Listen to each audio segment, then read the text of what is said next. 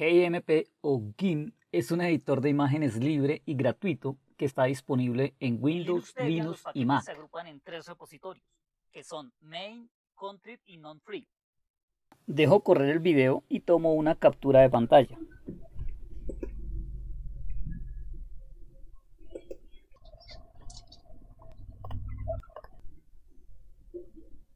Creo una imagen nueva que va a ser la miniatura con un tamaño de 1280 píxeles de ancho por 720 píxeles de altura.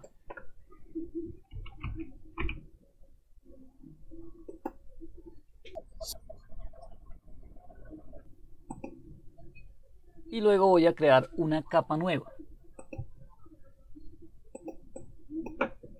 Que le pongo de nombre marco. Entonces tengo dos capas que se llaman marco y fondo. A estas dos capas les cambio el orden.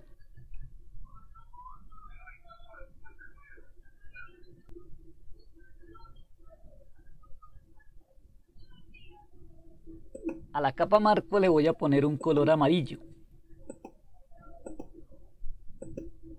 Esta capa está seleccionada, pero el cambio a color amarillo no se ve porque está detrás o debajo de la capa fondo para que se vea oculto por un momento la capa fondo. A la capa fondo le voy a cambiar el tamaño dando escalar capa.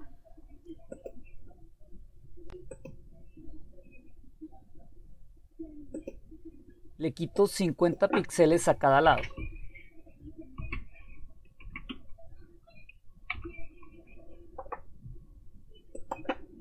Para poder hacer esto debo desmarcar este candado para poder modificar cada valor por separado.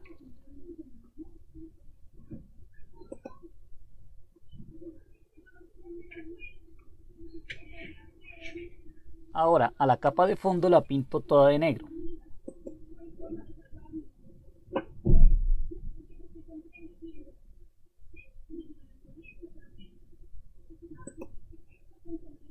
Y este sería como el fondo o el marco con el que yo voy a empezar a hacer la miniatura. Vuelvo a la imagen que saqué con la captura de pantalla, selecciono una parte, la copio con el clásico control C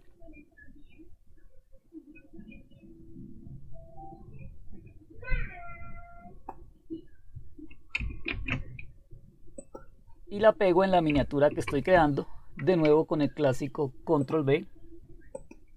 Aunque antes que nada debo dar a una capa nueva, o de lo contrario se va a fundir con la capa del fondo y entonces no podría manipularla.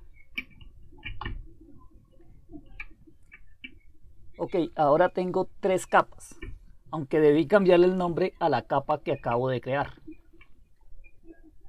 Esta capa la ubico en el lugar que yo quiera moviéndolo con las flechas. Y ahora voy a agregar un texto.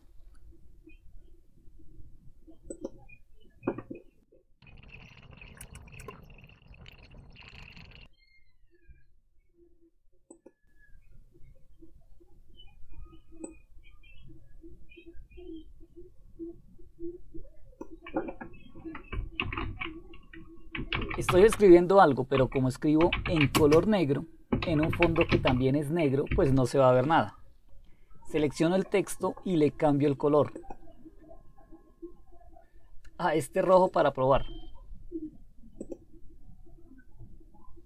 Le cambio el tamaño y lo ajusto un poco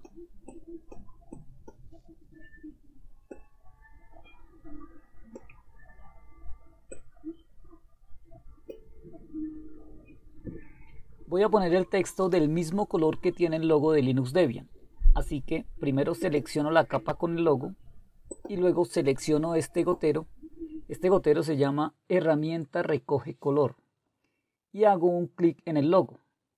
Recuerden que antes de dar clic al logo ya estaba seleccionada la capa que tiene el logo. Luego abro la paleta de colores y paso este color a uno de los 10 colores de muestra vuelvo al texto y le cambio el color.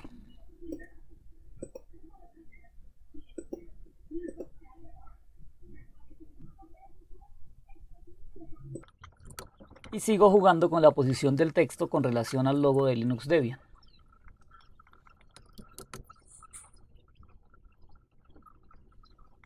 Observen que para mover el texto está seleccionado este pequeño rectángulo, aunque para moverlo debí usar la cruz, que es la herramienta para mover.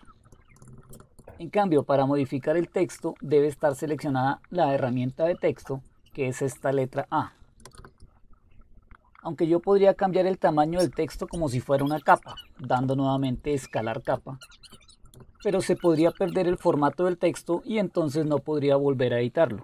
Es decir, no podría volverle a cambiar el color o cambiarle el tipo de texto o el tamaño. Ok, mejor dejo el título en la parte de abajo.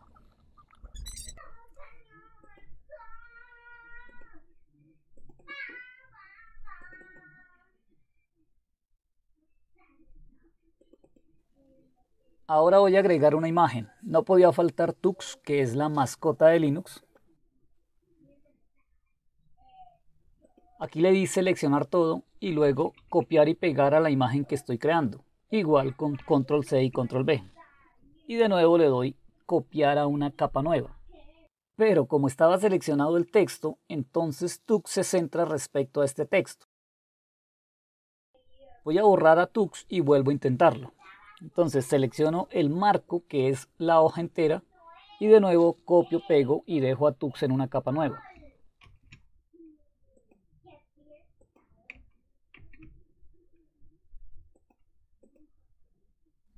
Y lo paso a un nivel superior para que se vea.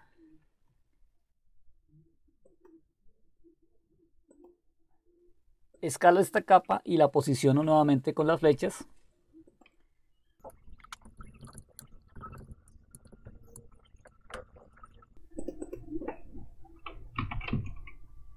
Ahora voy a crearle una silueta a Tux. Le creo una copia a esta capa, a la capa de Tux, y la dejo detrás o la dejo atrás.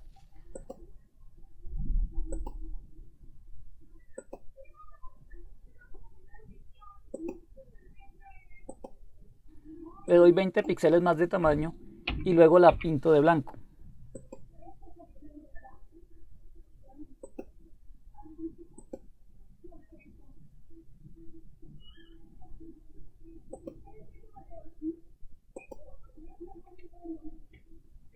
La capa original de Tux está momentáneamente oculta.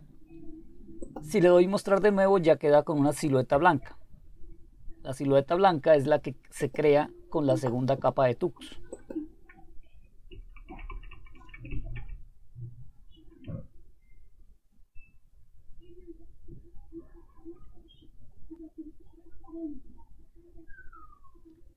Ok, guardo el proyecto o la miniatura que tiene una extensión .xcf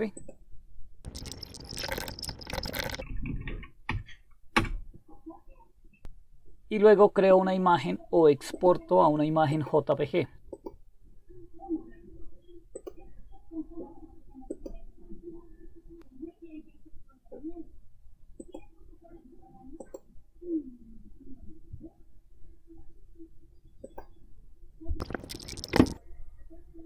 Y aquí está la miniatura en formato JPG, aunque la verdad no me gusta, debía ser el texto más grande al menos voy a resaltar el título que hice.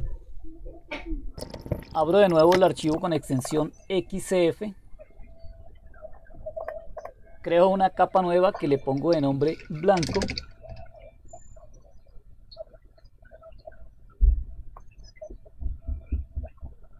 Selecciono la parte que quiero resaltar y la pinto o relleno de blanco.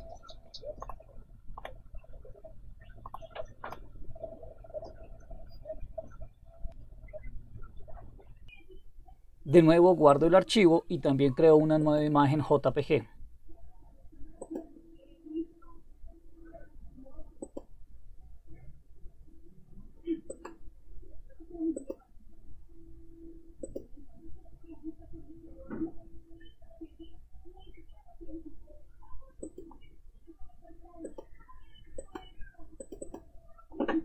Y aquí está el resultado final aunque esta es la versión 1. En el próximo video muestro la versión 2 y de paso cómo hice la miniatura de este mismo video, que sería la miniatura del video sobre hacer una miniatura, que también tendría otra miniatura.